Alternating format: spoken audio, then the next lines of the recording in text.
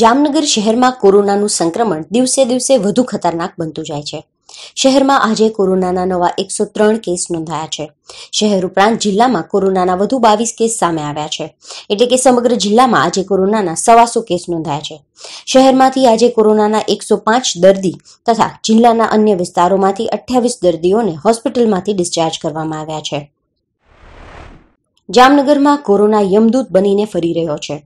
તંત્રના અહેવાલોમાં તો કોરોનાથી કોઈ પણ મૃત્યુ ન થયું હોવાનું જણાવવામાં આવે છે. પરંતુ કોરોના પ્રોટોકોલ મુજબ થયેલા અંતિમ સંસ્કારોની માહિતીના આધારે છેલ્લા ચોવીસ કલાકમાં જીજી હોસ્પિટલમાં કોરોનાના અઢાર દર્દીઓના મૃત્યુ થયા હોવાનું બહાર આવ્યું છે.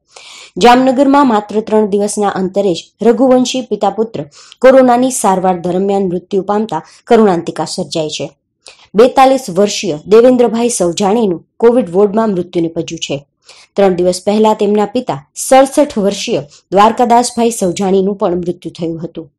આ ઉપરાંત જામનગરની સિવિલ કોર્ટના સુપ્રિન્ટેન્ડન્ટ કૌશલબેન નિગમભાઈ વૈદ્યનું પણ જીજી હોસ્પિટલમાં કોરોનાની સારવાર દરમિયાન મૃત્યુ થતા કોર્ટ કર્મચારીઓ અને વકીલોમાં શોકનું મોજું ફરી વળ્યું છે.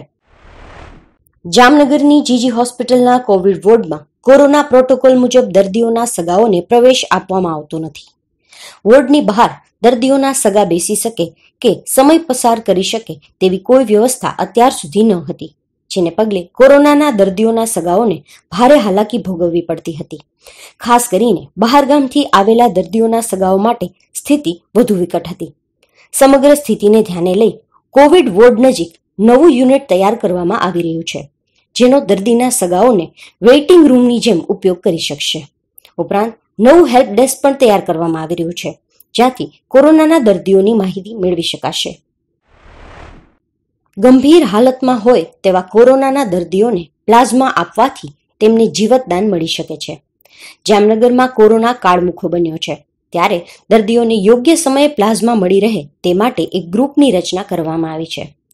નગરના જાણીતા ઓર્થોપેડિક ડોક્ટર કે એસ માહેશ્વરીના વડપણ હેઠળ કોરોના સેવિયર્સ ગ્રુપની રચના કરવામાં આવી છે. જેમાં ઉદ્યોગ જગતથી લઈ મીડિયા જગત તથા વિવિધ ક્ષેત્રના અગ્રણીઓનો સમાવેશ કરવામાં આવ્યો છે. આ ગ્રુપ દ્વારા કોરોનાને મહાત આપેલા રોગમુક્ત દર્દીઓને પ્લાઝમા ડોનેશન કરવા માટે પ્રોત્સાહિત કરવામાં આવશે.